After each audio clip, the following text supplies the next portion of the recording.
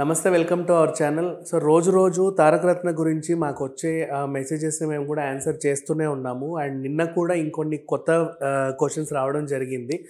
దాంట్లో major major points తీసుకొని ఈరోజు డిస్కస్ చేస్తున్నాం మనతో పాటు సీనియర్ జర్నలిస్ట్ దాము బాలాజీ గారు ఉన్నారు. నమస్తే సార్ నమస్తే. సార్ అలెక్య రెడ్డి పోస్ట్ గురించి అంటే ఆవిడ పెట్టింది పోస్ట్ పర్వాలేదు. చాలా వార్తలు వచ్చాయి. చాలామంది బాధపడ్డారు కూడా. ఆవిడ బాధని బాధపడ్డారు. ఇంటెన్సివ్గా దాన్ని డీకోడ్ చేస్తే ఏమన్నా తెలి కొత్త విషయాలు ఏమన్నా తెలియజెప్పిందా? అంటే చెప్పి చెప్పక లాంటి థాట్స్ వస్తున్నాయి. ఇప్పుడు for example we fought to be together and we did it till the very end దానికి ఆమె ఏమనుకొని పెట్టుండొచ్చు? యాక్చువల్గా ఆమె తారక రత్న గారు చనిపోయినాక ఇది సెకండ్ పోస్ట్ ఇన్స్టాగ్రామ్లో ఫస్ట్దేమో ఆయన బర్త్డే రోజు అదే రోజు చిన్న కర్మ కూడా. ఆ రోజు పెట్టింది. ఆ రోజు తనకి happy wishes happy birthday wishes చెబుతూ తనని మిస్ అవుతున్నాను అనేది ఆమె ప్రధానంగా పెట్టింది. దాంతోపాటు తండ్రి పెద్ద కూతురు ఉన్న ఫోటో పెట్టింది. ఇక్కడేమో తన చేతిలో తారకరత్న చేయి వేసి ఉండే ఒక బ్లాక్ అండ్ వైట్ ఫోటో పెట్టి టెక్స్ట్ రాసింది. అదేంటంటే మన ఇద్దరం కలిసి పోరాడాం. అంటే వీళ్ళ జీవితమే పోరాటంతో స్టార్ట్ అయింది వీళ్ళిద్దరి జీవితం. ఎందుకంటే వీళ్ళిద్దరిని పెళ్ళి చేసుకోవడానికి ఇరువైపులా ఒప్పుకోలేదు. తారకరత్న పేరెంట్స్ ఒప్పుకోలేదు. అటు అలెక్యారెడ్డి పేరెంట్స్ ఒప్పుకోలేదు. అందుకని మనకి సినిమాటిక్ అంటాం కదా సినిమాటిక్ లైఫ్ సినిమా వాళ్ళ జీవితంలో కూడా ఉంటుంది. పోస్టర్ కూడా బ్లాక్ అండ్ వైట్లో కలర్ పెట్టింది. అవును అది ఒక మెమరీ రంగులమైన లేదు ఇప్పుడు. అదొకటి. రెండోది నాస్టాలజిక్గా ఉండడానికి మనకు బ్లాక్ అండ్ వైట్ అంటేనే ఒక ఫ్లాష్ బ్యాక్ మామూలుగా సినిమాల్లో. కానీ ఫ్లాష్ బ్యాక్ టెక్నిక్కి బ్లాక్ అండ్ వైట్ వాడుతుంటారు ఎక్కువ. సెపియా వాడతారు లేదా బ్లాక్ అండ్ వైట్ అందుకని ఆమె సింబాలిక్గా కూడా పెట్టింది. అంటే తను పెయిన్లో కూడా తను ఎప్పుడు కానీ ఒక మనిషి పోయినప్పుడు మనం ఆ మెమరీ లేన్లోకి వెళ్తాం. జ్ఞాపకాల్లోకి వెళ్తాం మనుషులు. ఆ జ్ఞాపకాలు మిగులుతాయి. మనిషి మిగలడు కానీ జ్ఞాపకాలు ఉంటాయి కాబట్టి ఆ జ్ఞాపకాల్లోకి ఈ అమ్మాయి వెళ్ళింది నిన్న. సో అదొక రకంగా ఏంటంటే రీవిజిటింగ్ అంటాం. మళ్ళీ విజిట్ చేయడం వాటిని. అలాగా మనిషిని బ్రతికించుకుంటాం. చాలామంది మనిషి చనిపోయినాక ఎందుకు చనిపోరంటే తను బతుకుంటే ఆ మనిషి బతుకుంటాడు. ఎగ్జాక్ట్లీ అలేఖ్య బతుకుంటే తారకరత్నం బతుకుంటాడు. ఎలాగా? ఆ అమ్మాయి మెమరీస్లో ఆ అమ్మాయి చేసే యాక్టివిటీస్లో తారకరత్నాన్ని బతికించుకోవాలంటే ఆమె బతకాలి. సో అలేఖ్య రెడ్డి గారి ఊహ రూపంలో తారక రత్న చనిపోలేదు ఇంకా బ్రతికి చనిపో ఖచ్చితంగా మనుషులు ఫిజికల్గా మాత్రమే చనిపోతారండి. వాళ్ళ జ్ఞాపకాలను ఎవరు చెరిపేయలేరు. జ్ఞాపకాలు కావచ్చు వాళ్ళు చేసిన పనులు కావచ్చు వాళ్ళ మీద ఉండే అభిమానం జనాల్లో కావచ్చు దీన్ని ఇది ఇవన్నీ చనిపోవు. సో ఆ యాంగిల్ ఆమె ఒకసారి వాళ్ళిద్దరు లైఫ్ని బ్రీఫ్గా ఆ నాలుగైదు లైన్లలో ఆమె బ్రీఫ్గా చాలా విషయాలు చెప్పింది నిజానికి. ఇప్పుడు రెండో దానికి వెళ్తే we never had an easy life as from sleeping in car still here as అంటే ఆమె ఆ- ఒక్క లైన్లో ఎంత లైఫ్ చెప్పింది చూడండి. మన మనది ఎప్పుడు కూడా జీవితం సాఫీగా సాగలేదు. కార్లలో నిద్రపోయినాం మనం. కార్లలో నిద్రపోవడం అంటే ఏంటి? ఇల్లు. ఇల్లు లేదా? అక్కడ అనేక ప్రశ్నలు వస్తాయి.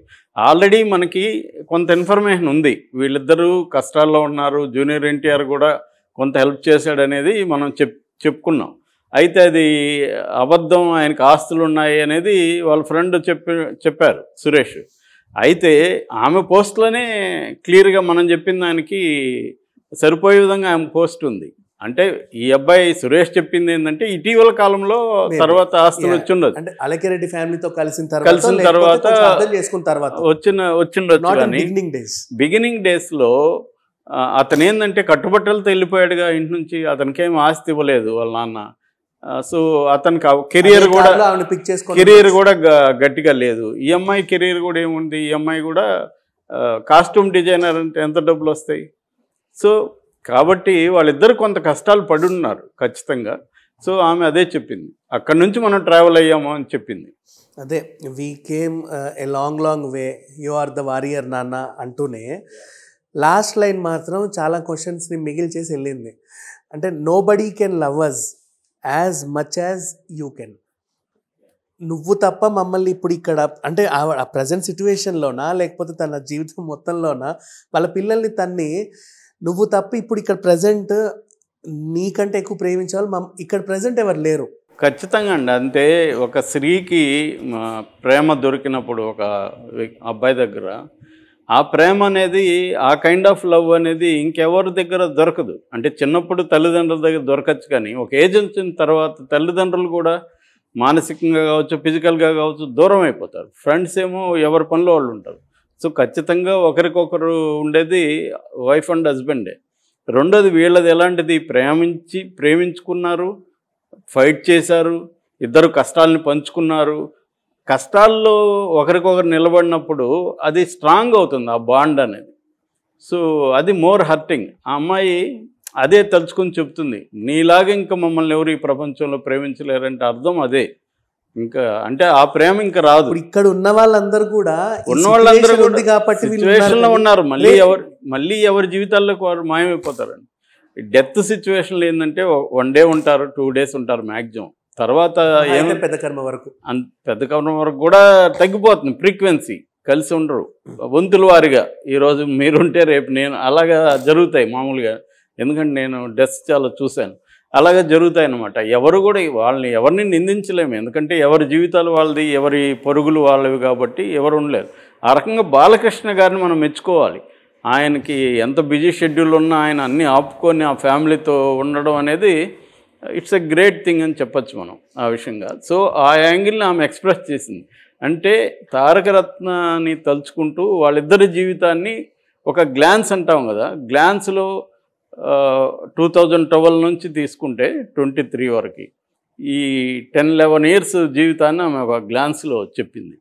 అండ్ ఇంకొకటి ఇంకొన్ని రోజులు పోతే ఎవరు ఉండరు అని అన్నారు కదా ఇంకొన్ని రోజులు పోతే నిజంగానే ఎలక్షన్స్ వచ్చేస్తాయి. ఇంక అందరు మర్చిపోతారా సార్ వీళ్ళని? ఇంకంతేనా అంటే అదే ఒకవేళ చంద్రబాబు గారు కానీ ఈమెని పొలిటికల్గా ఉపయోగించుకోవచ్చు మనకి నందమూరి ఫ్యామిలీ ఉందని ఆయన ఉపయోగించుకోవచ్చు కానీ వీళ్ళకంటూ మానసికంగా అనుకున్నప్పుడు ఆమెకు కూడా ఒక యాక్టివిటీ ఏర్పడుతుంది. తన హస్బెండ్ ఆశయం కావచ్చు లేదా కోరిక కావచ్చు అది ఆగిపోయిన చోట ఈమె మొదలుపెట్టింది అనుకో తన హస్బెండ్ జీవితాన్ని తాను మళ్ళీ కంటిన్యూ చేస్తున్నట్టు ఆయన ఆశయాన్ని కంటిన్యూ చేస్తున్నట్టు అది ఖచ్చితంగా ఆమెకి అప్పుడు ఏంటంటే అభిమానులు తారకరత్న అభిమానులు ఆమె అభిమానులుగా మారుతారు. సో అప్పుడు ఆమెకు కూడా హెల్ప్ అవుతుంది. చంద్రబాబు నాయుడు గారికి హెల్ప్ అవుతుందని చెప్పలేము. ఇక్కడ ఎందుకంటే ఇప్పుడు చాలామంది చూడండి మీరు పరిటాల రవి గారు చనిపోయారు ఆమె సునీత గారు మళ్ళీ రాజకీయాల్లోకి వచ్చి ఆమె మినిస్టర్ చేశారు. సో ఆమె ఆమె జీవితానికి కూడా హెల్ప్ అయింది కదా. ఆమె మళ్ళీ కుటుంబాన్ని నిలబెట్టింది తను నమ్ముకున్న అక్కడ వందలాది గ్రామాల ప్రజల్ని ఆమె నిలబెట్టింది. సో ఇలా ఉంటుంది ఎప్పుడైనా కూడా. రాజకీయాలు అనేవి స్త్రీలకు కూడా ఎంపవర్మెంట్ ఆఫ్ ఉమెన్ అంటాం. అంటే స్త్రీలకు కూడా సాధికారికత అనేది ఏదో రూపంలో అంటే మామూలుగా ఇప్పుడు ఆయన బతుకుంటే ఆమెకు వచ్చేది కాదు ఒక్కొక్కసారి హస్బెండ్ చనిపోతే వీళ్ళకి ప్రపంచం ఓపెన్ అవుతుంది అంటారు మరింత అంటే కిచెను లేకపోతే ఇంటి ప్రపంచం పెద్ద ప్రపంచం అవుతుంది. అలాగే అలేఖ్యారెడ్డి ప్రపంచం ఇప్పుడు నేరోగా ఉంది. రేపొద్దున అది చంద్రబాబు ప్లాన్గా ఉంటే ఆమెకు కూడా ప్రపంచం విస్తరిస్తుంది చంద్రబాబు కూడా ఉపయోగపడవచ్చు అది బోత్ వేస్ ఇలా చూసుకుంటే పోనీ అంటే రాజకీయాలు అంటే ఆవిడకి అలవాటు లేని పని ఫర్ ఎగ్జాంపుల్ ఆమెకు తెలిసిన బొటీక్ ఉంది కదా. అంటే లైక్ ఫ్యాషన్ డిజైనర్గా. అది కూడా ఇప్పుడు వచ్చింది. ఎక్కడైనా ఈ బంజారా హిల్స్లో కానీ వాళ్ళ ఉన్న లోపల ఇమీడియట్గా అదే జరుగుతుందండి. ఆల్రెడీ పెద్ద బొటీక్ అనేది ఆవిడకి పెట్టిస్తే షీ కెన్ లీడ్ హర్ లేదు ఆల్రెడీ అది ఐడియా ఉంది. మన లక్ష్మీ పరంతి గారు అదే ప్లాన్ చేస్తున్నట్టుగా నాకు ఓకే. వేరే వాళ్ళు చెప్పారు.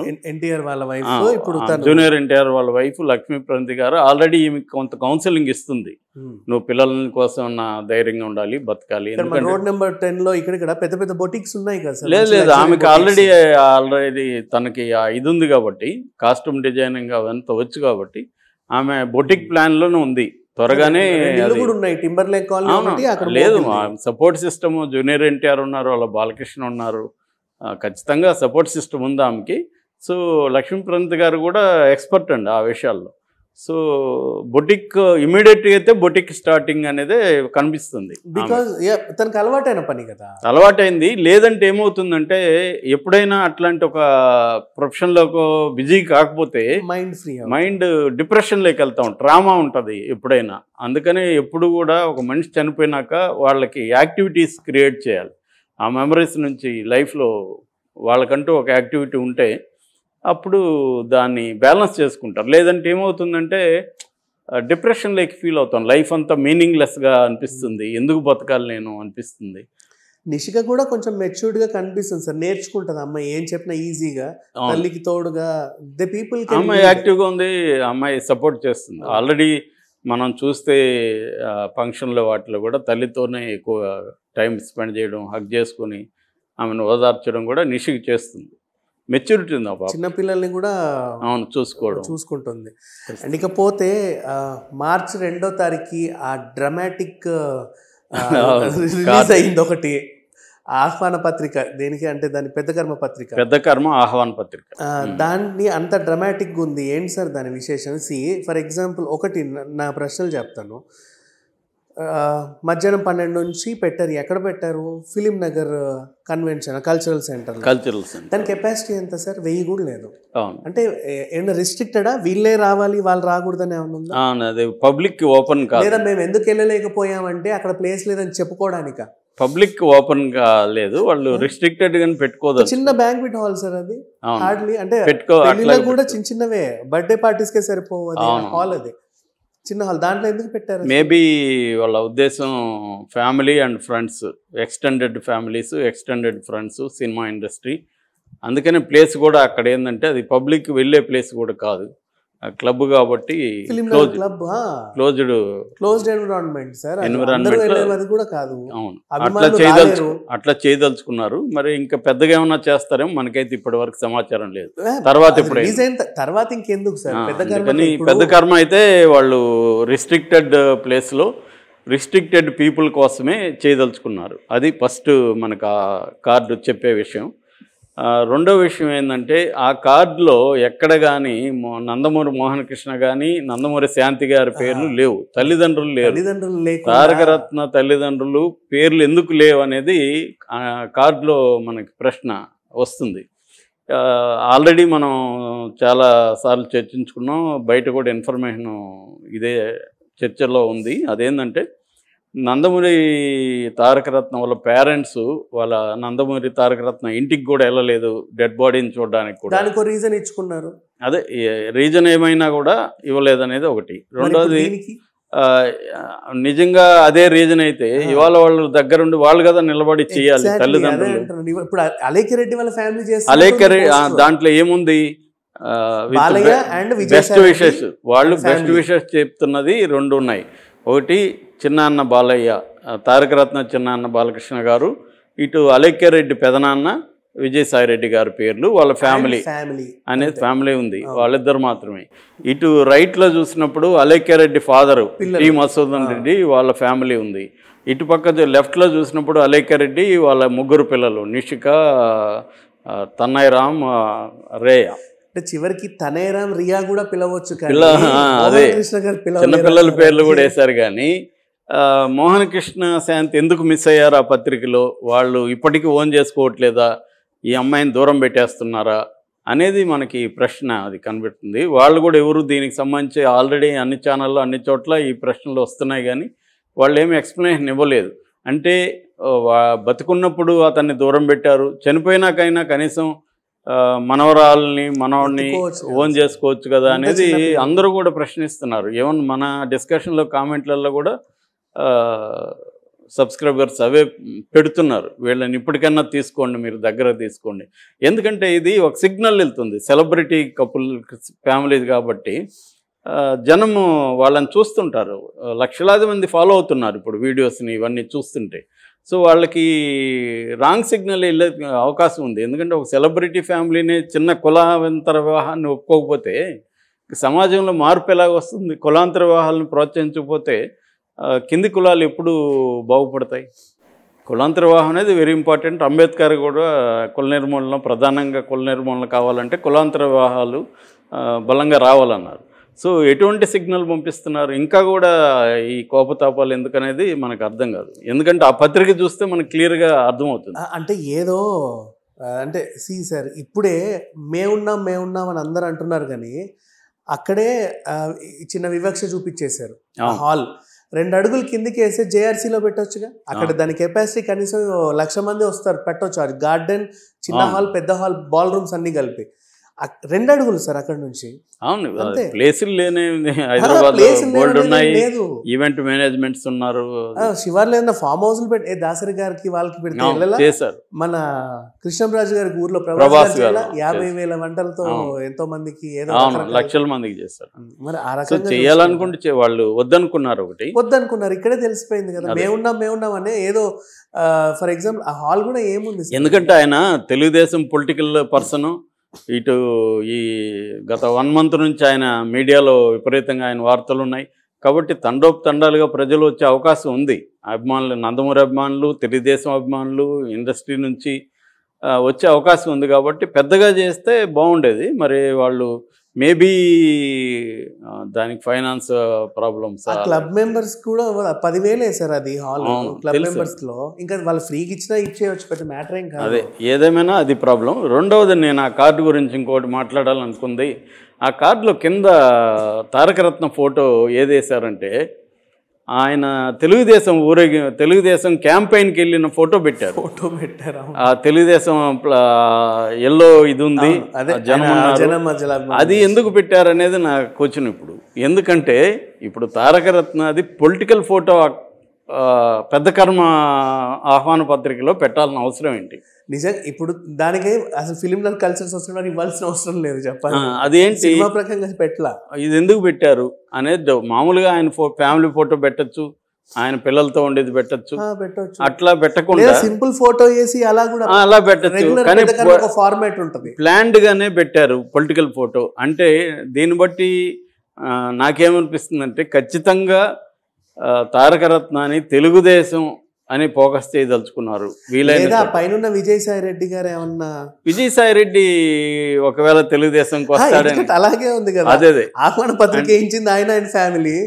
కిందేమో తెలుగుదేశం ఒక ఇండికేషన్ ఇండికేషన్ అనేది మనకి కన్ఫ్యూజింగ్ ఉంది. ఏదేమైనా పక్కన ఆల్రెడీ అమ్మాయిని తెలుగుదేశంలో పదవి ఇస్తున్నారని ఒక ప్రచారం. ప్రచారం ఉంది. కీలక పదవి అనేది కూడా అంటున్నారు. ఏదేమైనా నాకైతే అనిపించేది ఖచ్చితంగా అలైక్యారెడ్డిని కూడా తెలుగుదేశం పార్టీలకి చంద్రబాబు వదులుకోరు ఇట్లాంటివి. రెండవది మీరు అన్నారు కదా ఇందాక చంద్రబాబుకే మేలు జరుగుతుందని. లేదు ఈ ఫ్యామిలీకి కూడా మేలు జరుగుతుంది చంద్రబాబు ఒక్కరికే మోహన్ కృష్ణ అని శాంతి గారిని ఈ ఫ్యామిలీతో కలిపే సామర్థ్యం ఒక్క చంద్రబాబు గారికే ఉందని బాలకృష్ణ గారికి ఆయన అనుకుంటే కలుపుగల ఆయనకు ఆ సమర్థత ఉంది. ఈయన తమ్ముడు కదా? ఎవరు? బాలయ్య తమ్ముడు. తమ్ముడైనా కూడా తమ్ముడు చేయలేని పని చంద్రబాబు గారు చేయగలరండి. మీకు ఒక ఎగ్జాంపుల్ చెప్తాను. జూనియర్ ఎన్టీఆర్ని పార్టీలోకి రాదలుచుకున్నప్పుడు ఈయన చంద్రబాబు గారు జూనియర్ ఎన్టీఆర్ని తెలుగుదేశం పార్టీలోకి రప్పించాలనుకున్నారు. అప్పటికి మొత్తం నందమూరి ఫ్యామిలీ జూనియర్ ఎన్టీఆర్ని దూరం పెట్టింది. వాళ్ళని దగ్గరికి చేర్చింది ఎవరండి? చంద్రబాబు గారే. ఆ సంబంధం కుదిర్చింది ఎవరు? లక్ష్మీపార్వతి ప్రణతి సంబంధాన్ని చంద్రబాబు గారే. చంద్రబాబు గారికి ఆ క్యాపబిలిటీస్ ఉన్నాయి. ఆయన ఆయనకి ఆ స్ట్రాటజీస్ వేయగలరు ఎవరిని ఎక్కడ పట్టుకుంటే చేయగలరు అవన్నీ బ్రహ్మాండంగా చేయగలరు అందువల్ల నాకేమనిపిస్తుందంటే మోహన్ కృష్ణ శాంతి గారిని కూడా అలేఖ్యారెడ్డితో కలపగలిగిన ఏకైక సమర్థత ఉన్న వ్యక్తి చంద్రబాబు గారే. అండ్ ఇందులో చంద్రబాబు గారు ఇన్వైట్ చేయనట్టుగా ఆయన పేరు ఆయన లేకుండా పేరు లేదు కానీ వచ్చింది. పార్టీ ఉంది కదా. తెలుగుదేశం పార్టీ ఉందంటే ఖచ్చితంగా అది నెక్స్ట్ పొలిటికల్ స్టెప్కి ఇది ఒక బీజం అండి. మనం ఆల్రెడీ ఆలోచించకుండా అయితే డిజైన్ చేయరుగా? చూసుకొనే చేస్తారు. మొత్తం క్లారిటీగా చేస్తారండి. అట్లే ఉండదు. ఎందుకు వేస్తారు ఆ ఫోటో సో సెలెక్ట్ చేసి వేశారు ఈ సెలెక్ట్ చేసి వేసింది ఎవరు ఉండొచ్చు? బాలయ్య బాబాయ్ ఉంటాడని నా సో ఆ అభిప్రాయం లిమిటెడ్ పీపుల్ ఎవరైతే అక్కడికి వస్తున్నారో మోస్ట్లీ టీడీపీ వాళ్ళే వచ్చే ఛాన్స్ ఉందేమో. ఇటు వాళ్ళు కూడా ఉంటారు. సెలబ్రిటీస్ ఉంటారు ఖచ్చితంగా. పొలిటికల్గా కూడా చంద్రబాబు లాంటి వాళ్ళు అంటే సినిమా వాతావరణం కాకుండా మొత్తం పొలిటికల్ వాతావరణం ప్రధానంగా అయితే ప్రధానంగా అయితే తారకరత్న చావు వృధా కాదు. తారకరత్న మేము ఎలాగైనా వాడుకుంటాం. వాడుకుంటారు. బో- బోత్ వైపు ఉపయోగపడుతుందండి. అది నేనైతే రాంగ్ అని అనుకోవట్లేదు. చంద్రబాబు గారు ఏదో. రాంగ్ చేస్తున్నట్టుగా. అది. ఒక ఈమెకు కూడా ఒక సాధికారత ఈమె రాజకీయాల్లోకి వచ్చి రేపు పొద్దున తెలుగుదేశం ప్రభుత్వం వస్తే మినిస్టర్ కావచ్చు అలేఖ్యారెడ్డి. మనం అలేఖ్యారెడ్డి మినిస్టర్ అని మాట్లాడుకోవచ్చు. సో వాళ్ళ పిల్లలకు కూడా మంచి లైఫ్ వస్తుంది. సో ఈ పత్రిక సాక్షిగా విజయసాయి రెడ్డి గారు తెలుగుదేశం కి మద్దతు ఉన్నట్టుగా ఇంచుమించు ప్రొజెక్ట్ అయిపోతుంది. ప్రొజెక్ట్ అయిందండి. మనం ఇప్పుడు చూసేవాళ్ళు అనుకోవచ్చు వీళ్ళిద్దరూ చాలా ఎక్స్ట్రా మాట్లాడుతున్నారని. కానీ ఆ పత్రికని స్టడీ చేయమని నేను చెప్తున్నా. మన. విజువల్లో వేస్తున్నాం కాబట్టి చేస్తే ఆ పత్రికలు మీరే చూడండి ఆ పత్రికను మీరే స్టడీ చేయండి. ఎవరైనా ఎనీ కామన్ సెన్స్ ఉన్న వాళ్ళు స్టడీ చేస్తే మనం చెప్పేది హండ్రెడ్ పర్సెంట్ వాస్తవం అనేది అర్థమవుతుంది. Okay sir. ఏదేమైనప్పటికీ ఇక ఈ విగ్రహం గొడవ ఏంటో అర్థం కావట్లేదు. లేదండి అది ఐదు కోట్లు పెట్టి వెండి విగ్రహాన్ని తయారు చేసి వెండి విగ్రహం తీసి ఊరు మధ్యలో పెడతారు సార్ ఎవరైనా? అది? ఊరు మధ్యలో పెట్టరు. అది ఎక్కడైనా క్లోజ్డ్ ప్లేస్లో పెడతారు. మేబీ అంటే ఇంకొకటి వచ్చింది దీనికి సంబంధించి. ఆయన ఎక్కడైనా ఆయన చిన్న మెమోరియల్ ఏర్పాటు చేశారనుకోండి. ఓకే. నిన్న. లాంటిది పెట్టి ఓకే. అక్కడ పెట్టచ్చు. సెక్యూరిటీ ఉంటుంది కాబట్టి. వెండి అనేది సెక్యూరిటీ ఉన్న ప్లేస్లోనే పెట్టాలి. పబ్లిక్ ప్లేస్లో పెట్టలేరు. సో మనం నిన్న ట్రస్ట్ గురించి మాట్లాడుకున్నాం అట్లాంటి ఒక ట్రస్ట్ ఏర్పాటు చేసి ఒక హోమ్ లాంటిది పెడతారనుకోండి ఆ హోమ్లో పెడతారు. సో బాలయ్య బాబు ఒక ఐదు కేజీ.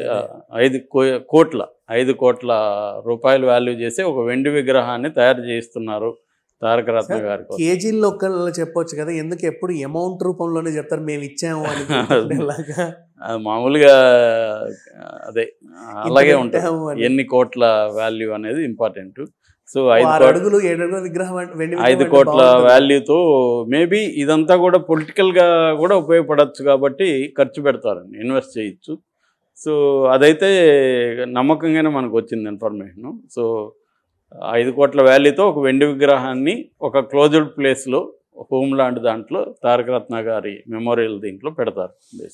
అలాగే ఇప్పుడు మెమోరియల్ అన్నారు కాబట్టి ఇంకోటి గుర్తొచ్చింది. మొన్న రీసెంట్లీ వాళ్ళ ఫ్రెండ్ ఒక ఇంటర్వ్యూలో ఆయన కార్ అంటే చాలా ఇష్టం అని చెప్పుకొచ్చారు. అదే కారులో స్టార్టింగ్ మేము మనం గడిపామని అలేఖ్య రెడ్డి పోస్ట్ పెట్టుకొచ్చింది. ఆ కారో ఏ కారో తెలియదు ఆయనకి ఇష్టమైన కారు ఆయనకున్న మూడు కార్లలో ఆ ఇష్టమైన కార్ని ఆయన గుర్తుగా మన హరికృష్ణ రామకృష్ణ రామకృష్ణ హార్టికల్చర్స్ స్టూడియోస్ ఉంది నాచారంలో అవును మల్లాపూర్ దగ్గర. ఆల్రెడీ అందులో ఎన్టీఆర్ గారి జ్ఞాపకంగా అది పెట్టారు ఆయన. ప్రచార రథాన్ని అక్కడ ఉంచారు. ప్రచార రథం. అలా రథం. కార్ని కూడా అక్కడ పెడతారేమో అనేసి వార్తలు వస్తున్నాయి. అవునండి అది- కూడా నిజమే అండి. ఎందుకంటే అలేకైతే వాడదు మళ్ళీ నే-. నేనే గుర్తుగా పెట్టు అదే నేను అనుకుంటున్నది ఏమంటే ఇప్పుడు మనం చెప్పుకున్నట్టుగా ఒక ట్రస్టు ఒక హోము ఆయన మెమోరియల్ సెంటర్ అనుకోండి. ఆ మెమోరియల్ సెంటర్లోనే ఇవన్నీ పెడతారు. వెండి విగ్రహం ఉంటుంది కారు కూడా అక్కడే ఆయన జ్ఞాపకార్థంగా పెట్టే అవకాశాలు కనిపిస్తున్నాయి. అంటే ఆయన మెమరీస్ని చనిపోయకుండా ఆయన బతికించాలి కాబట్టి ఫిజికల్గా కూడా ఎప్పుడైనా ఒక ప్లేస్ అనేది ఇంపార్టెంట్ ఎవరికైనా. మనం బొ బుద్ధ చూస్తాం అంబేద్కర్ విగ్రహాలు ఎందుకు పెడుతున్నారు? ఫిజికల్గా కూడా ఒకటి ఉండాలి. మెమొరీస్ అనేవి అబ్స్ట్రాక్ట్గానే ఉంటే బతకు. ఫిజికల్గా కూడా ఫామ్ వాటి క్రియేట్ చేయాలి. అట్లాగే మనం చనిపోయిన చాలామంది గ్రేట్ పర్సనాలిటీస్కి ఫిజికల్ ఫామ్స్ ఉంటాయి. మెమోరియల్ ఇది ఉంటాయి. ఎన్టీఆర్ మెమోరియల్ ఇది ఉంది. అట్లా తారక రత్నాకు కూడా ఒక మెమోరియల్ ఇది చేసి కారు కానీ ఆ విగ్రహం కానీ అన్నీ కూడా అక్కడ పెడుతున్నాం. ఇంకేదో పిచ్చి వార్త వైరల్ అయింది సార్. ఆయన డైరీలో రాసుకుంది ఇదే అదే అని చెప్పేసి. అది ఒట్టిదేనా? అది అది నిజానికి నేను కూడా చదివాను వీడియో కూడా చూశానండి. అదేంటంటే ఒక ప్రొడ్యూసర్ చెప్పినట్టుగా మనకు వచ్చింది. తారక రత్న గారు ఒక డైరీ మెయింటైన్ చేశారు. ఆ, డైరీలో అలేఖ్య రెడ్డి గురించి చాలా విషయాలు ఉన్నాయి వాళ్ళ ప్రేమ గురించి అవన్నీ ఉన్నాయి అనేది చెప్పారు కానీ ఎక్కడ డైరీ బయటికి రాలేదు. నిజంగా ఉందా లేదనేది మనం నిర్ధారించలేం.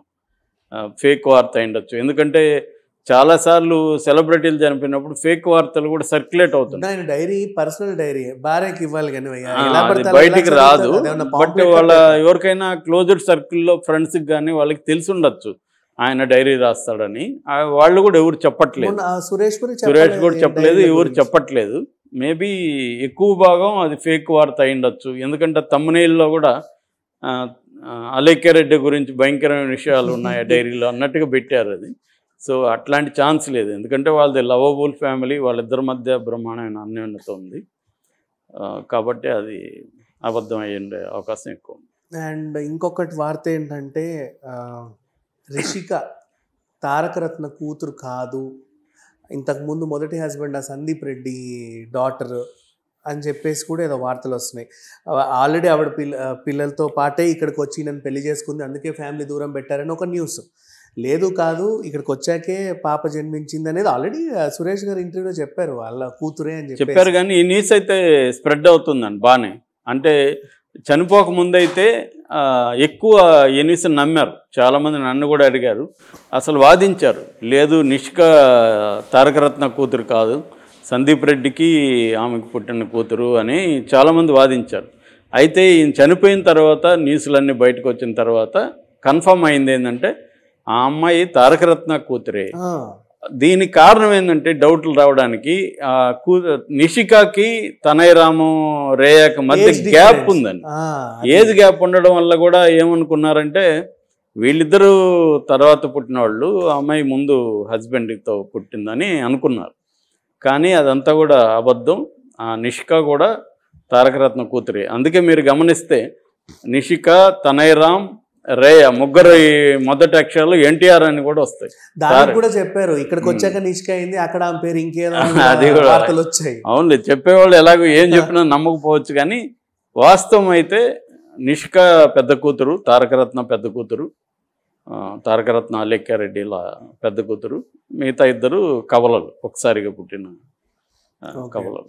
సో ఈ సందీప్ రెడ్డి ఎవరు సార్? అసలు ఆయన బ్యాక్గ్రౌండ్ ఏంటి? సందీప్ రెడ్డి అవసరం ఏంటి?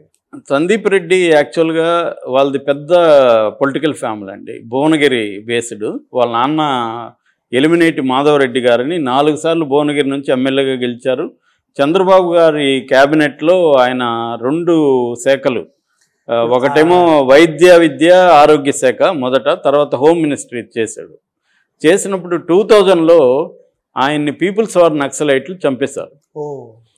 ఎందుకంటే ఎలిమినేటివ్ మాధవరెడ్డి హోమ్ మినిస్టర్ ఉండగా నక్సలైట్ల మీద చాలా దాడులు చాలా మందిని చంపడం ఎన్కౌంటర్లు ఇవన్నీ బాగా జరిగాయి.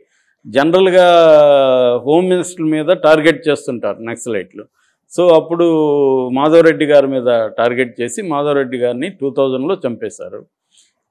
ఆ, తర్వాత ఆయన చనిపోయినాక అగైన్ ఇందాక మాట్లాడుకున్నట్టే చంద్రబాబు గారు ఆయన భార్య అయిన ఉమా మాధవరెడ్డి గారిని మళ్ళీ రాజకీయాలకు తీసుకొచ్చారు. ఆమె మళ్ళీ భువనగిరి నుంచి గెలిచింది. ఆమె కేబినెట్ మినిస్టర్గా చంద్రబాబు గారి ప్రభుత్వంలో పనిచేసింది. సో వాళ్ళిద్దరి అబ్బాయి సందీప్ రెడ్డి. అంటే వాళ్ళ అమ్మ నాన్న ఇద్దరు కూడా మినిస్టర్స్. మంచి సెటిల్డ్ ఇప్పుడు ఆ టెంపుల్ పడ్డాక కూడా ఇంకా బాగా డెవలప్ యాదా ఇప్పుడు తర్వాత వాళ్ళిద్దరు ఏం చేశారంటే అమ్మ కొడుకు ఇద్దరు కూడా టీఆర్ఎస్లో చేరారు. టీఆర్ఎస్లో చేరినాక ఈ అబ్బాయికి ఇప్పుడు యాదాద్రి జిల్లా పరిషత్ చైర్మన్ సందీప్ రెడ్డి. చాలా యాక్టివ్గా రాజకీయాల్లో ఉంటున్నారు. ఆయన భార్య అండి వీళ్ళది అరేంజ్డ్ మ్యారేజ్. అలేఖ్యారెడ్డి వాళ్ళ నాన్న కూడా మధుసూదన్ రెడ్డి గారు ఆయన ఆర్టీఓ అనంతపూర్లో పనిచేశారు. సో వాళ్ళు దూర బంధుత్వం ఏదో ఉంటే వాళ్ళు ఈ అమ్మాయిని అక్కడ తీసుకున్నారు. అయితే పెద్దలు కుదిర్చిన పెళ్ళి అయినప్పటికీ వీళ్ళ మధ్య పొసగలేదు ప్రాబ్లమ్స్ వచ్చాయి. వాటి కరెక్ట్ రీజన్ అయితే మనకు తెలియదు అప్పుడు వాళ్ళు వెల్ సెటిల్డ్ అలేకరెడ్డి మిడిల్ క్లాసే కదా? అలెక్ వాళ్ళ అమ్మాయి వాళ్ళ అమ్మాయి ఏమో మిడిల్. క్లాసే కానీ కొంత పొలిటికల్ కనెక్షన్స్ ఉన్నవాళ్ళండి. ఎందుకంటే మనకి విజయసాయిరెడ్డి గారు కూడా పెదనాన్నే కదా. అవును. కాబట్టి కొంత కనెక్షన్స్ ఉన్నాయి. పొలిటికల్ కనెక్షన్స్ ఉన్నాయి. అలాగా అరౌండ్ నాకు తెలిసి టూ థౌజండ్ నైన్ టెన్ ప్రాంతంలో పెళ్ళయింది ఆ అమ్మాయికి సందీప్ రెడ్డితో. త్వరలోనే వాళ్ళు విడిపోయారు. ఎందుకనేది తెలియదు అయితే మనకి ఆశ్చర్యకరమైన ఒక విషయం ఏంటంటే ఈ ఈయన తారకరత్న చనిపోయినాక సందీప్ రెడ్డి కానీ లేకపోతే ఆమె వాళ్ళ ఎక్స్ మదర్ ఇన్ లా అని చెప్పొచ్చు ఉమా మాధవరెడ్డి కానీ స్పందించలేదు అసలు. స్పందించినట్టు కానీ వచ్చినట్టు కానీ ఎక్కడ లేదు, కనబడలేదు. రెండవది ఎక్కడో కొంత పుకార్లు కూడా పుట్టాయి. ఈ అమ్మాయికి నన్ను కాదని వెళ్ళినాక ఈ అమ్మాయికి ఇది కరెక్టే జరిగింది అన్నట్టుగా అట్లాంటి వార్తలు వచ్చాయి సార్. కాదని వెళ్ళింది కదా తగిన శాస్త్ర జరిగింది. నష్టజాతకురాలు ఇంకా నా కొడుకుని. వదిలేసి మంచి పని చేసామన్నట్టు వాళ్ళు అనేది చెప్పుకున్నట్టుగా వచ్చిందనేది కూడా వచ్చి ఉంది నిజమా కాదు తెలియదు కానీ జనం మామూలుగా అయితే ఇలాంటి అనుకునే పరిస్థితి ఉంది ఎందుకంటే మొదటి పెళ్ళి అలా అయింది రెండో పెళ్ళి ఇలా అయింది అనేది ఆ అమ్మాయికి ఖచ్చితంగా అమ్మాయిని గురించి అలా ఎందుకంటే మనకి నిన్న కూడా డిస్కస్ చేసాం జాతకాల పిచ్చి ఇవన్నీ ఎక్కువైనాయి. ఆ, ఇంటికి వాస్తు. సెంటిమెంట్లు ఇవన్నీ ఎక్కువ అవడం వల్ల ఇది కూడా డిస్కస్ చేస్తారు. ఈ అమ్మాయి ఈ అమ్మాయిని పెళ్ళి చేసుకోవడం వల్లే తారక రత్నం చనిపోయాడు అని కూడా కొంతమంది రాశారు వార్తలు. సో అదంతా కూడా అన్సైంటిఫిక్ అది సైంటిఫిక్ కానీ అక్కడ కూడా వచ్చే వార్తలు ఏంటంటే జాతకం మంచిది కాదని చెప్పేసి వదిలేశారని అన్నారు. మరి జాతకం మంచిది? వేణుస్వామి కూడా వీళ్ళిద్దరి జాతకాలు కలగకపోతే అంటే ఏ అబ్బాయి అమ్మాయి జాతకం కలగకపోయినా అబ్బాయి గుండెపోటు వస్తుందని వేణుస్వామిది నిన్న చూశాను నేను. అది మరింత డేంజర్ అది. అంటే గుండెపోటుకి కారణం జాతకాల. అట్లా అనుకుంటే ఇంక మరి గుండెపోటుని ఎలా నివారిస్తాం? అదే కదా. సో వేణుస్వామి లాంటి వాళ్ళు చాలా డేంజరస్ టు ద సొసైటీ మార్చుకోవాలేమో. డేంజరస్ టు సొసైటీ సో జాతకాలు కలవకుండా లవ్ మ్యారేజ్లు మరి ఎలా అవుతాయండి? జాతకాలు కలవాలంటే ఇంకెవరు ఎవరిని ప్రేమించుకోకూడదా? సో అది చాలా డేంజరస్ సో ఆ యాంగిల్లోనే మనం అర్థం చేసుకోవాలి. సో ఏదేమైనప్పటికీ రేపు పెద్ద కర్మకు వచ్చే ఆ గెస్ట్లను బట్టి మనకి అసలు క్లారిటీ అనేది నెక్స్ట్. ఎమర్జ్ అవుతుందండి. ఏదేమైనా నా గెస్సింగ్ అయితే త్వరలోనే చంద్రబాబు గారు న్యూస్ చెప్పొచ్చు మనకి. చెప్పొచ్చు. అండ్ ఇంకొకటి కూడా మనం ఇందాక మాట్లాడినంత వెయ్యి మంది వచ్చే హాల్ కూడా కాదు సార్ అది. అంటే చాలా లిమిటెడ్ పీపుల్ని పిలుచుకున్నారు వాళ్ళు. అదే ఏదో ప్లాన్ ఉంది. Anyway thank you sir Thank you. So much